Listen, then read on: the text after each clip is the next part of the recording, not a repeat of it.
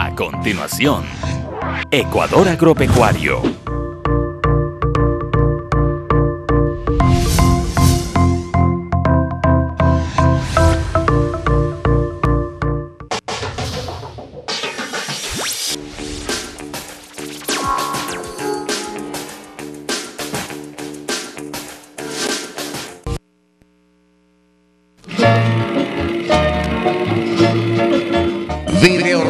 Producciones presenta Ecuador Agropecuario, un programa dedicado al hombre que trabaja la tierra, a los ecuatorianos que contribuyen con su trabajo fecundo el engrandecimiento de nuestra patria. Ecuador Agropecuario, con mensajes prácticos de gran utilidad para los agricultores de todo el país. Ecuador Agropecuario, con el auspicio de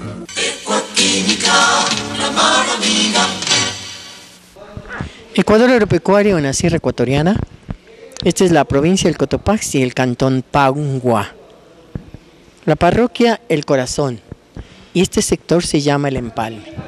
En esta mañana, con la empresa Ecuaquímica y cámaras de Juan Javier Castellanos, en una charla técnica relacionada con el cultivo de la mora de la variedad de Castilla y también del frijol, pero el frijol canario es, ¿no? Vamos a conversar con uno de los agricultores de mi país. Se trata del señor Isaías Bichisela Yancha. Don Isaías, gracias por estar con Ecuador Agropecuario. Qué difícil llegar acá, don Isaías. Los carreteros no son buenos. Ustedes tienen que lidiar, pues en este caso, para poder entregar su producto, en este caso la mora y el frijol. Yo digo que sufre mucho, ¿por qué razón? Porque el agricultor es el que trabaja en el campo, pero ustedes entregan a intermediarios. ¿Cómo es la vida de ustedes aquí, don Isaías? Primeramente, pues agradecerles a este canal que se ha preocupado por los campesinos más que todo, especialmente por, por acá la distancia es lo, lo, lo primordial que estamos, digamos, al pie de la provincia del Cotopaxi. Para sacar nuestros produ productos necesariamente no se puede por, el, por la vía que no es tan adecuada, no es tan adecuada porque este producto, por supuesto la mora, es de llevar con mucho cuidado. De aquí, por ejemplo, este producto de aquí tenemos que sacar al Guayas, la mayoría a Quito. Y de aquí usted sabe que para llegar a Quito tenemos ocho horas de viaje y el transporte con lo que está el carretero malo, la mora se deteriora. Don Isaías, yo no diría malo, pésimo. Y inclusive con peligro a que ustedes pierdan la vida en el transporte. Sí, sí, sí. Eh, tales de los casos, ahora no más recién, tenemos un grave problema en el recinto Chisla, que los transportes no pueden pasar por ahí. Y tenemos que ver otra alternativa para poder llegar con el producto que puedan llevar el producto los intermediarios. Nosotros, por supuesto, nosotros le entregamos los amores aquí. Y a un precio, usted sabe, usted palpó, creo que acá el señor palpó, que cómo está ahorita. Y está 35 centavos la libra, dése cuenta usted. Eso es, o sea, para uno, uno, para poder subsistir la mora debería estar siquiera 50 centavos, al, al, o sea, más o, menos. más o, menos. para poder, porque de aquí nosotros los, los productores vivimos de la mora y del canario, pero más de la mora, porque con esa mora nosotros vendemos, cosechamos los viernes, los viernes tarde ya cobramos y con esa plata tenemos que estudiar a los hijos, mantener la familia, pagar a los, a los peon, peoncitos para que, o sea, para tutoriar, para podar la mora. Entonces usted dése cuenta que 30 centavos no alcanza es para nada, nada. Es por eso nosotros, nosotros, yo soy el presidente de una asociación de productores de mora y frijol de la Asociación de Palma Urco, y en la cual con el administrador, que es el señor ingeniero Eduardo, Eduardo Estrella, hemos visto conveniente de que con, para entregar al, intermediario aquí no es factible. Hemos visto entonces el apoyo de cuáles? Del MAGAB, de, por intermedio de la zonal de Quito y de aquí de, del Cantón Pangua y de la provincia de, de Tungurahua. Hemos gestionado y tenemos dos convenios firmados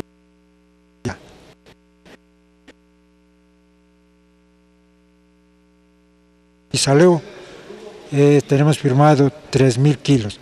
Pero lamentablemente por la situación del clima, la mora mejor está acabando de dañarse y no tenemos producción. Don Isaías, ¿cómo ve usted estas charlas técnicas que en este caso está brindando la empresa privada, la empresa ecoquímica? Muy bien, nosotros ya en este año Justamente está Juan Carlos visitó ayer, tenemos una parcela demostrativa que, está aquí a unas dos cuadras, es de mi propiedad. En el invierno ya hemos podido siquiera el 20% cosechar. Ya no digamos tan bastante, porque los años anteriores no cogíamos nada, por ejemplo, enero, febrero, marzo, abril, cero, cero, no había producción, pero con la capacitación de la de la, sí, de la empresa privada que es Ecoquímica, ya hemos tenido, o sea, alguna, ya salimos de esa. Creo que para el próximo año, siquiera el 30% vamos a poder cosechar. Entonces, pues, así mismo, agradecerle mejor, más que con nuestra plata, ya con los productos que trae la empresa ecoquímica, sí está aguantando al fenómeno que es el invierno. Muchas gracias, don Isaías. Gracias a usted.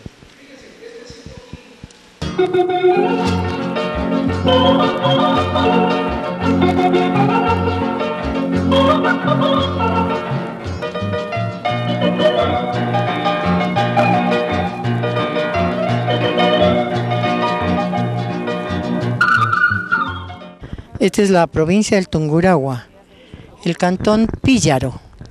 Esta parroquia se llama San Andrés y el sector Yaxchil, San Francisco. San Fernando. Bueno, ya lo bautizamos con San Francisco, San Fernando. Vamos, grabando. 5, 4, 3, 2. Ecuador Agropecuario en la Sierra Ecuatoriana. Esta es la provincia del Tungurahua. El cantón Píllaro. Este sector se, se llama Parroquia San Andrés.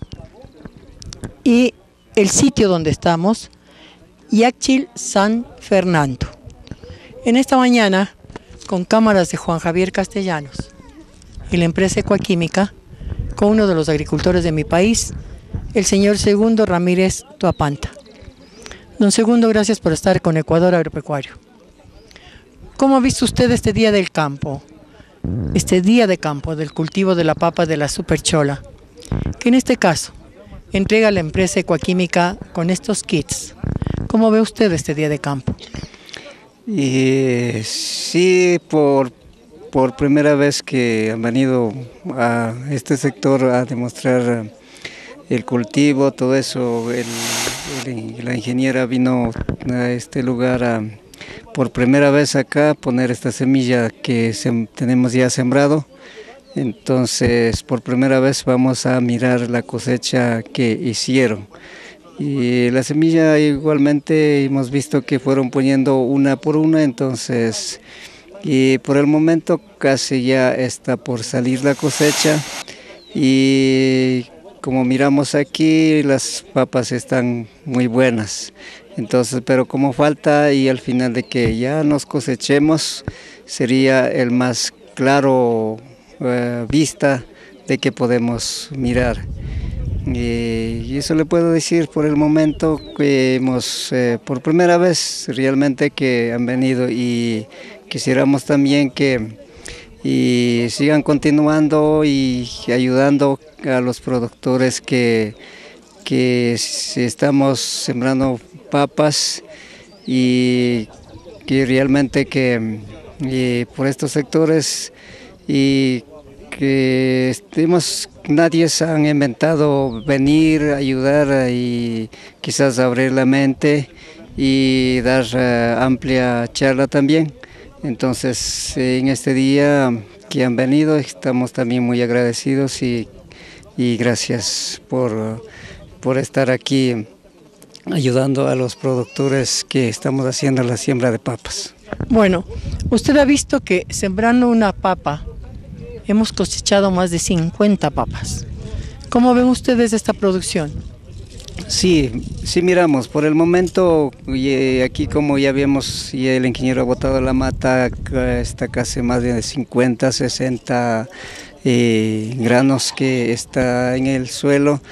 Y como vuelvo y repito, y al final eh, ahí estaremos más, más al claro la cosecha, porque ahorita todavía falta Pero antes, ¿cuánto cosechaban? ¿Ustedes ponían cuántas papas? Sí, nosotros realmente hemos puesto tres, tres papas ¿Y cuánto sacaban?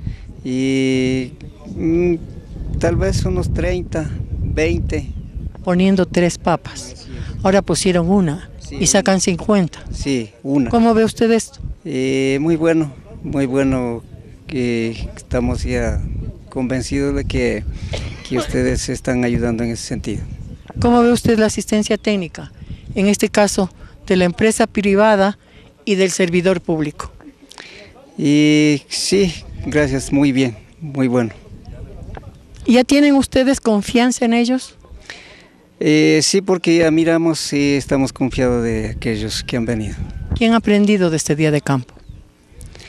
Eh, que, bueno, muchas cosas de, de bombas, decoraciones, de, de plagas, en, en cuidar eh, eh, la planta desde la siembra hasta, hasta el final.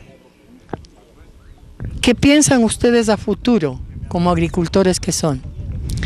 Y realmente nosotros hemos pensado tener productos y, seguir adelante con la siembra y si, si en esta vienen continuamente, nos dan la mano, nos ayudan, sería muy excelente y, y vuelvo y repito que no ha habido técnicos quizás que han podido ayudar a- en este sector y por lo cual no hemos tenido buenas cosechas.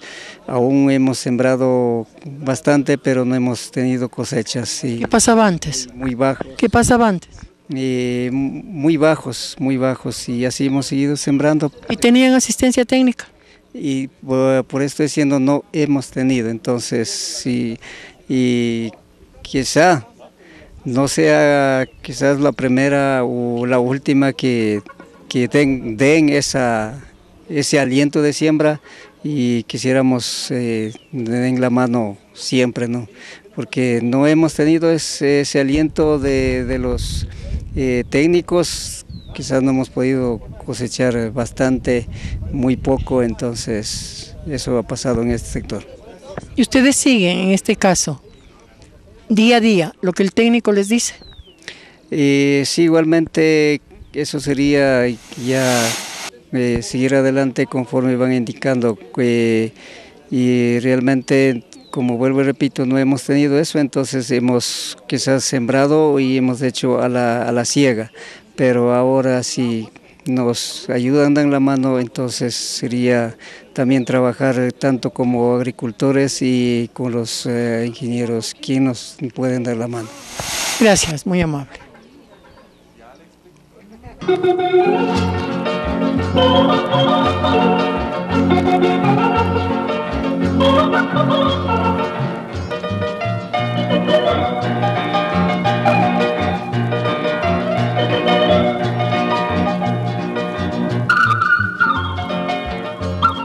En esta mañana estamos en la provincia del Guayas, el cantón Naranjal, la parroquia Taura, asistiendo a una feria agropecuaria desde el stand de la empresa ecoquímica con cámaras de Juan Javier Castellanos. En esta mañana con el coordinador del Plan Semillas del Guayas, del Ministerio de Agricultura, Ganadería, Acuacultura y Pesca, el señor ingeniero agrónomo Marino Risco Vera. Señor ingeniero, gracias por estar con Ecuador Agropecuario. ¿Qué beneficio traen estas ferias agropecuarias en este sector del país en tratándose del cultivo de arroz? Porque esta es una zona eminentemente arrocera, pero ¿cuál es la responsabilidad de ustedes como servidores públicos en este sector? Bueno, agradeciendo de antemano la, entrevista, saludos a todos. Eh, bueno, eh, el objetivo principal siempre de las ferias en las que participamos y también el MAGAP eh, interviene es dar a conocer todas las bondades, toda la tecnología que hay en el mercado al beneficio del pequeño agricultor. Dentro del Ministerio de Agricultura existe el programa de asistencia técnica donde los técnicos del MAGA en campo están con asociaciones, con los productores, en este caso de arroceros, trabajando eh, de la mano. O sea, lo que involucramos en, este momento es de que el productor venga, conozca en cada uno de los stands empresas que participan, empresas que están en el mercado con sus productos y el, agricultor las conozca y así puede aplicar en sus cultivos de arroz. Usted dice asistencia técnica, cuántos agricultores hasta ahora? ¿Tenemos una estadística de a cuántos hemos visitado y qué provecho hemos sacado de todos ellos con este famoso plan semilla? Sí, hablando aquí en el Guayas, tenemos aproximadamente unos 25 mil productores 25 mil productores entre arroceros y maiceros. El programa también... Hablemos solo de arroz en general. Bueno, hablamos de unos, unos 15 mil productores, eh, pequeños productores arroceros, en cual eh, eh, hay unos 80 técnicos en campo, cuales asisten a ellos. ¿no? Trabajamos con asociaciones y con comunidades. Pero ¿cómo supervisamos ese trabajo? Prácticamente cada que tiempo supervisamos ahora con el problema que nos trajo la naturaleza, inundaciones, pérdidas de arroz. ¿Qué es lo que hemos conseguido? ¿Cómo hemos dado esa esperanza como servidores públicos, en este caso al pequeñito agricultor? Bien, eh, uno de, de, los objetivos de tener un programa de asistencia técnica es de estar eh, de la mano con el agricultor desde la siembra hasta la comercialización. Eh, justamente en este año hemos tenido problemas fitosanitarios y los agricultores se han visto beneficiados en qué? En que productores que han adquirido créditos con el banco, productores que se han adquirido paquetes tecnológicos que los entrega el MAGA con subsidio, están asegurados.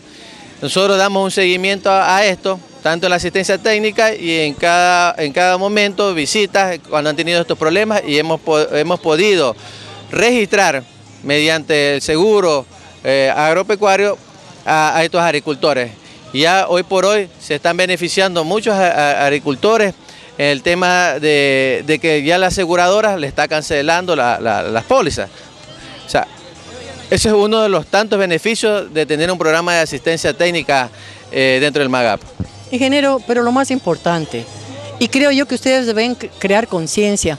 En este caso, el próximo ministro de Agricultura que venga, el precio, los precios de arroz, las políticas agropecuarias que se deben mantener en el Ministerio de Agricultura y Ganadería.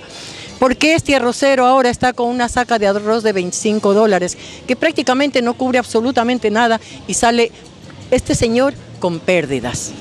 Sí, realmente la situación en la parte de la comercialización, y hablando justamente del precio del arroz, eh, hemos tenido para este ciclo inconvenientes, ya lo hemos venido trayendo, pero el MAGAP eh, se ha estado trabajando fuertemente, incluso tenemos ya casi un mes haciendo operativos en diferentes piladoras, eh, viendo que paguen el precio oficial y ya estamos en próximo a, visitarles de nuevo porque realmente hemos estamos tomando la medida en estos momentos de clausurar piladoras que no estén pagando con el precio oficial. Eh, el MAGAP, usted sabrá, también tiene la UNA, la, unidad ah, este, de almacenamiento, y ellos eh, ya abrieron centros de acopio y las mismas plantas UNA están comprando arroz al precio oficial. Eh, dentro de los beneficios que, de los pequeños agricultores que el MAGAP asiste, es también como la comercialización. Estamos llevando directamente a todos estos pequeños agricultores a las piladoras que son contratadas por la UNA, quienes están comprando con precio oficial y a las plantas también, ¿no? Para que se beneficien del, precio y le paguen el peso y, el precio justo. Esas son en estos momentos las políticas que eh, el MAGA está implementando con todos los, pequeños agricultores. Con esto queremos decir que tiene esperanzas todavía este agricultor que está de cosecha. Así es, incluso hoy el, este, los técnicos del MAGAP están en cada una de estas aspiladoras donde el agricultor nosotros los contactamos, en esa relación que tenemos ya de mucho tiempo, de confianza, llaman al técnico del MAGAP, lo consultan dónde están comprando arroz al precio oficial y nosotros le damos toda la información y toda la guía y el seguimiento para que sea atendido y, y este agricultor salga satisfecho con la entrega de su producto. Muchas gracias, ingeniero. Gracias a usted, muy amable.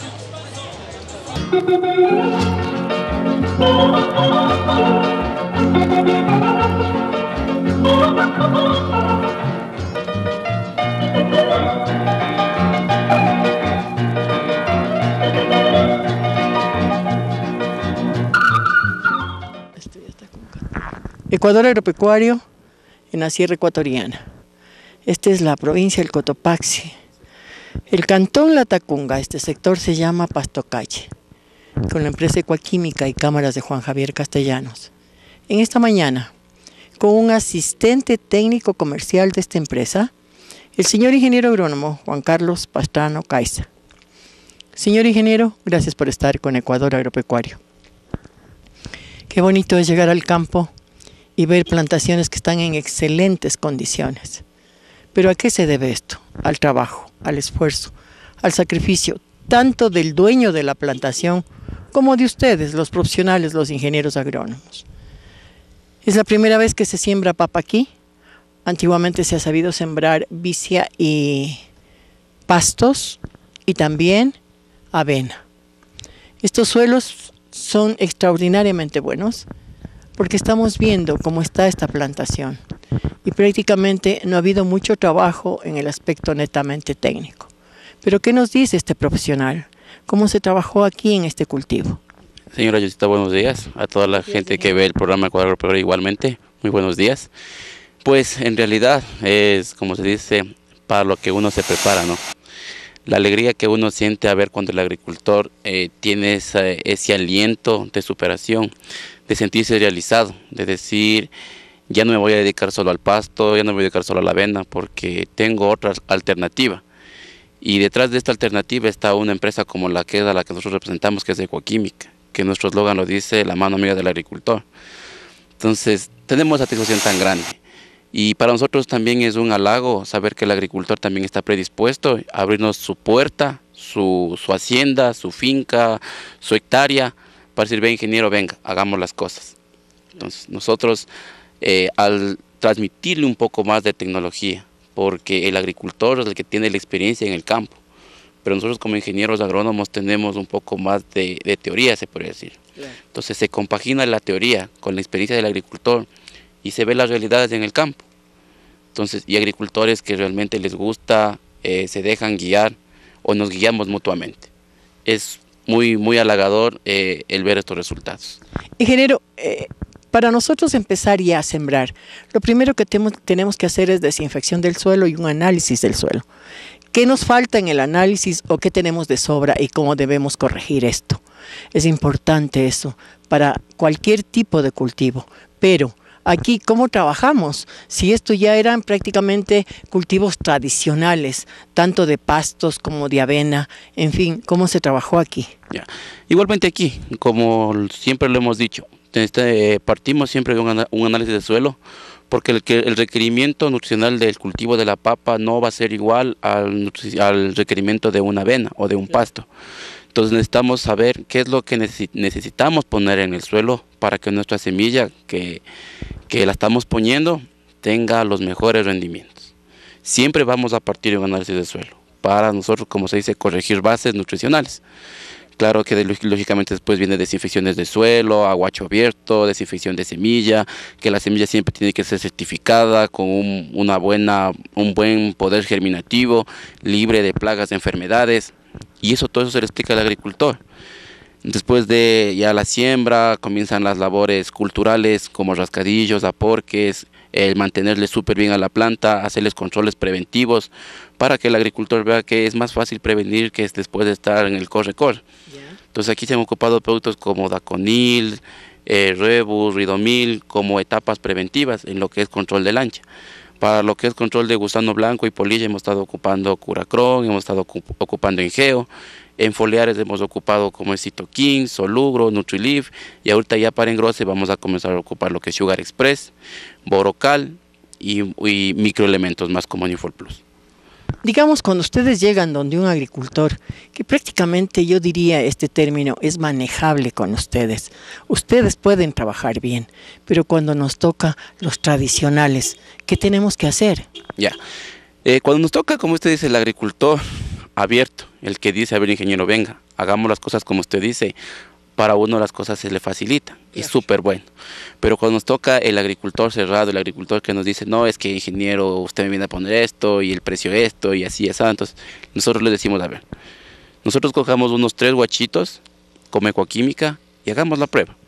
Hagamos la prueba, denos de aquí, yo que sé, un tiempo de unas dos, tres semanas, hasta dos mesecitos, y vamos a ver la diferencia. Entonces el agricultor, como se dice, haciéndole ver las cosas, dice, no, entonces, yo estoy equivocado, ingeniero, hagamos como usted dice. Y pero no tampoco es que decir hagamos como usted dice, sino simplemente es, yo le estoy dando una recomendación, pero si usted tiene que decirme algo, entre los dos conversando lo vamos a hacer mejor, de mejor manera. Entonces siempre al agricultor cerrado, como nosotros le llamamos, es hacerle ver las cosas. Ya. Ingeniero, el mensaje al agricultor. El mensaje al agricultor simplemente decirle que eh, no desmaye, que él tiene la riqueza más grande, el tesoro más grande que puede desear cualquier persona, que es la tierra. Que recuerde que si él no tiene tierra o si ellos no producen, nosotros en la ciudad no tenemos que, no vamos, no vamos a tener con qué alimentarnos. Entonces simplemente que no desmaye, que siga luchando y que si que nos vean nosotros técnicos de ecoquímica ahí, nos abran la puerta, nos pregunten cualquier inquietud que ellos tengan, nosotros estamos para servirles. Muchas gracias, ingeniero.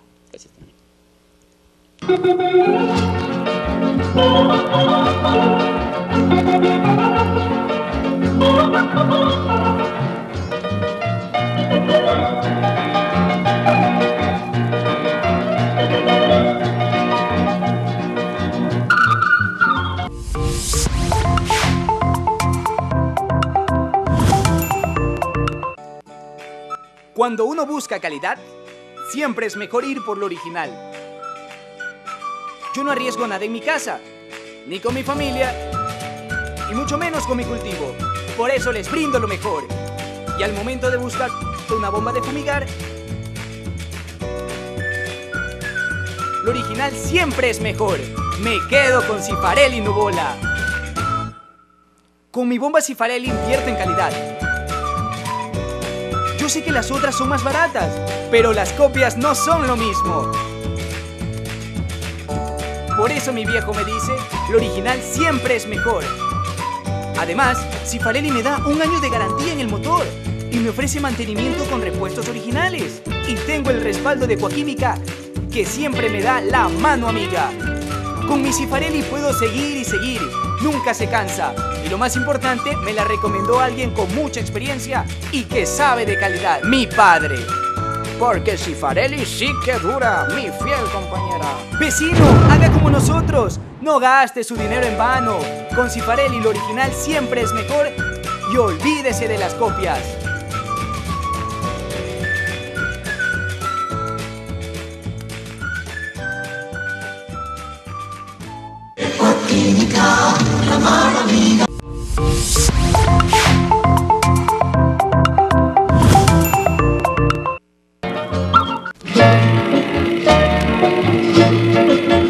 Video Radio Producciones presentó Ecuador Agropecuario, un programa dedicado al hombre que trabaja la tierra, a los ecuatorianos que contribuyen con su trabajo fecundo el engrandecimiento de nuestra patria.